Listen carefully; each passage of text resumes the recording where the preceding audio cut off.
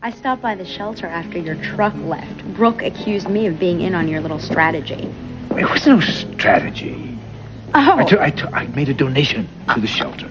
Some people say it with flowers, other express romance with like a washer and dryer. What's next? A new air filtration system? A jacuzzi? What? Hey, what are my chances? I don't know. I'm not a mind reader. Come on, you didn't ask. Let's just say it's not definite. Can't you do better than that for your devoted father? As much as it shocks me to say this, I think that you and Brooke could actually happen.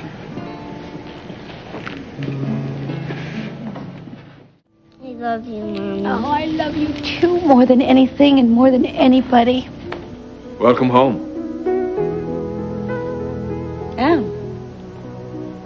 I missed you more than anything or anybody. Does Aunt Phoebe know that you're roaming the grounds? Uh, Phoebe's attention wavers after cocktail time. Adam, you promised that you would keep your distance until I finished what I had to do with the shelter. So I did, and so I have.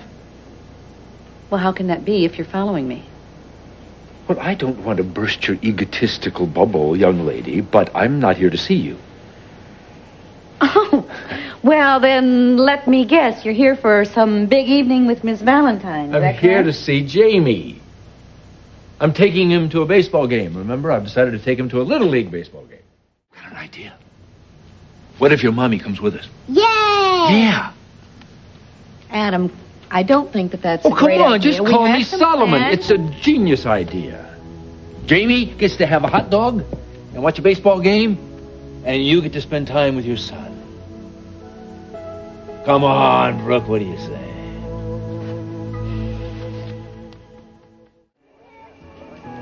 Did you get my note? Oh, yes. Glad to help. I would do anything for you, Brooke. Anything. Adam, I accepted the appliances on behalf of the shelter, so please don't make this into something personal. Oh, no, no, no, no, nothing personal. No, no, no. I, I saw that you had a need the night that I stayed at the shelter, and I tried to satisfy that need. For major appliances. End of statement. Well, as long as we understand each other. Oh, yes, absolutely. absolutely. If I wanted to woo you, I wouldn't do it with matching washer dryer. A pastry chef on call 24 hours a day. Now, that would make you weak-kneed. You know me very well. yes, I do. You look like someone who has found herself. Did you ever bargain with God when you were a kid? Oh, all the time. If I get an A in history, I'll make my bed every day for the rest of my life, I swear. When you grow up, you realize that it isn't what you bargained for, it's what you don't. I mean, like a catastrophic illness that that eats up all your savings, or job layoffs, or a bad economy, or just a bad break. I mean, you know, people on the street, they're not bargaining for a car or, or a better grade. They're just praying. They're praying, you know, that they will have food to eat and a, and a decent place to live. And really, there, but for the grace of God, go I. Well, but for the grace of Brooke English House, a lot of homeless people have shelter, food, and clothing. It's a band-aid. It's not a cure. Well, it's a fine start. I swear I will honestly try to do my best. Those were your exact words the night of the banquet. And you've more than honored them. that her her mother had died in a fire earlier that year in a hotel where they were living and so she you know there was no reason for her to stay in new york so she so that was why she ran away You went way out of your way to help somebody you don't even know. oh i know enough maybe i know too much thanks to what you would call my obsession Oh, my apology. I confused obsession with passion. Well what's the difference Passion is what you bring to the dance. You don't hold back on anything, Brooke. Whether you're reading to Jamie or, or, or tilting at City Hall bureaucrats, you're right there. You're alive. You're in the moment. And what is obsession? Look in Webster under Adam Chandler for that one. Also, check out uh, crazed, fixated, uh, uh, uh, uh, uh, monopolistic. Uh, the list goes on and on and on. Oh, but that was the old Adam Chandler. Well, I'll warn you about something. There's one thing that hasn't changed about me. When I get something in my blood, it's a part of me. I couldn't let it go if I tried. And I'd be a fool to try,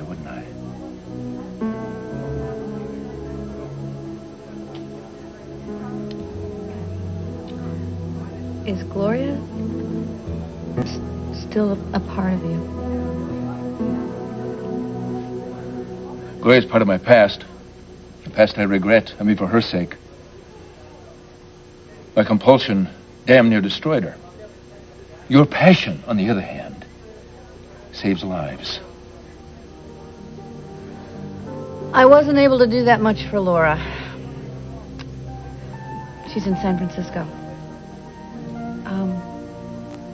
Probably alone.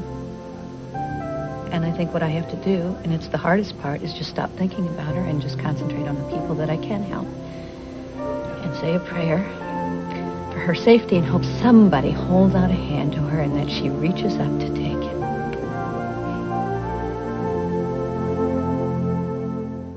I think I should go retrieve my son. Well, I challenge you to a game of pinball. Well, you're on. Gloria, hello. Hi, Adam. You know, it's so good to see you. It's good to see you, too. Oh, honey. Scott, how's it going? Hey, Adam. Nice to see you. Well, stranger, it's been a while. Are you having a good summer? It's getting there. Yeah? Tonight i- is my first night out on the town since I left Oakhaven. And uh, Scott here is my official escort. We thought we'd have some cheeseburgers here and then maybe some ice cream at the Sugar Cone. And if we really feel like putting it a night on the town, we may go play, play a round of miniature golf. Sounds like a great evening. Tomorrow I'm going to see Joe Martin um, at the hospital to see if I could get my job back. So wish me luck. Brooke, I've been reading a lot in the paper about you. You've been doing some wonderful things in the shelter. Oh, it's not just me. It's a lot of people that are pitching in. Well, if I can donate my nursing services, let me know. You know what? Call me, and and we'll talk about it. I'd like that. Okay. It's great to see you out and around. It's great seeing you too, Adam. See you later. Yeah. Bye-bye, guys. Bye.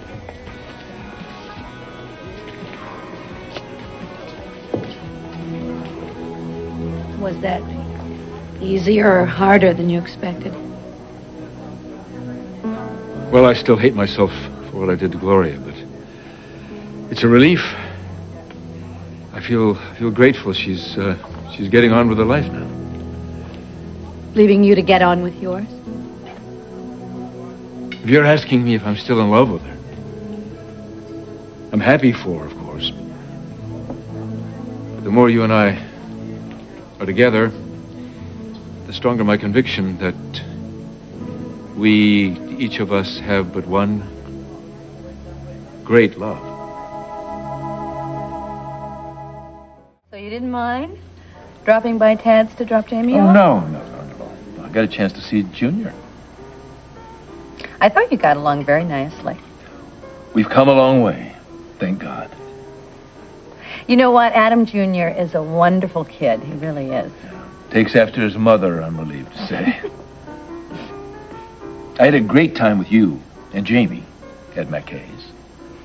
What did you do with those tickets that you got? You know, the tickets that you win at the pinball? Oh, uh, Jamie scored a pocket harmonica and some yummy bears. oh. I almost forgot. I have a gift for you. Close your eyes. Come on. Don't do I this, Adam. I insist that you close your eyes. No, right? forget it. Oh, humor me. Please. Oh, what is it? The Hope Diamond? Tickets at La Scala? Okay. Open up.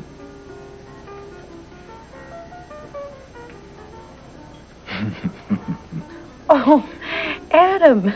Oh, you shouldn't have. Oh, no, I saw this. I said, that's Brooke. Absolutely. Uh, turn it over. There's an inscription. Oh, made in Thailand. Yeah. Well, I'm going to keep this as a remembrance of tonight. Good evening. Uh, Oh. What's your pleasure? That's a loaded question. Adam. Uh, uh, yes, sir. I'll have anisette, and the lady will have a brandy Alexander. Well, you and the elephants. now, I remember all your special preferences. Um, uh, scrambled eggs, soft. Always the bedroom window open at night. And I recall that you like to sleep stark staring naked. During the course of our marriage, that resulted in many sleepless nights.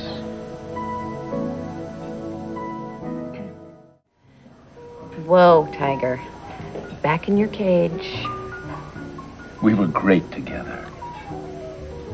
We still are. I don't want to have this conversation. Brooke, come on. Don't be coy. We're a pair of consenting adults. We, We don't need. We went out with my son tonight. We had dinner, all right? It was not a date. You called me. Yes. Yeah, well, you asked me out. That to me, that's a date. I asked you out so I, I could thank you for the appliances that you donated to the shelter, and I'm sorry if I conveyed some other message. I apologize. Why did you come with me here for a nightcap? Because I was having a good time. Well, it doesn't have to end. Brooke, admit it. We're great together. Together, we are a force to... There is no we. There's you, and there's me. Singular, all right? Get your pronouns straight, or you can hit the road right now. Your wish is my command. What are you doing? You told me to hit the road. So I'm hitting it. It's uh, been a lovely evening.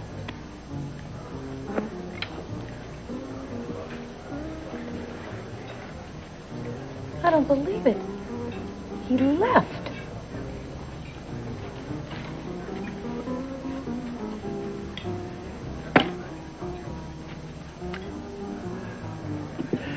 On second thought, it's not good form to leave a lady to find her own way home. So, uh, you take my car, I'll walk. Oh, don't be ridiculous. I'll take a cab. Tell the dispatcher that you're cabbing it to the homeless shelter. You'll still be here for breakfast. All right, I'll, uh, I'll give you a lift. You want another brandy, Alexander? How do you do that? What? Well, first you make this noble gesture by leaving, and then you out-noble yourself by coming back. Brooke, I have nothing up my sleeve here. If I if I stepped out of bounds earlier, I apologize. I don't want to scare you. If you want to play it safe and slow, I say steady as she goes. Mm-hmm. Famous last word. Have I ever broken a promise to you? well, Well, I mean, in the last month. I swore that I wouldn't encroach on your space while you were staying at the homeless shelter. Have I not been as good as my word? what are you up to? Nothing. You're not acting like yourself, but you're not fooling me. Do you think after all this time, I think I could put something over on you? I know what this reverse psychology is, this low sales pressure bit. This is to lull me into a false security. No, there's nothing false about it. You are completely safe with me.